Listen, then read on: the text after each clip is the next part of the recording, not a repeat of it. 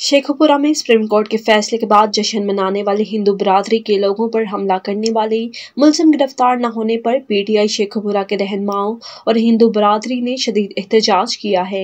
ताहम थाना सिटी ए division police ने चार मुलजमान शाहिद उर्फ़ शादू बलोच, सलीम उर्फ़ सैमू बलोच, सुहेल उर्फ़ सैलू और रमज़ान उर्फ़ बब्बन के खिलाफ मुकदमा दर्ज कर लिया, लेकिन पुलिस किसी भी मुलजिम को गिरफ़्तार न कर सकी। एफ़ आई आर में चमन लाल ठाकुर ने इल्ज़ाम आयद किया है कि मुलजमों ने इससे कबल भी इन्हें पीटीआई की हमायत करने और जिमनी इलेक्शन में मुलजमान की मर्ज़ी के मुताबिक वोट न डालने पर भी संगीन नतज की धमकियाँ देते रहे हैं। मुलजमान संगीन नतज की धमकियाँ देने के साथ साथ ठाकुर रमन, ठाकुर संतोष को छुरियों के वार करके जख्मी कर दिया और फरार हो गए।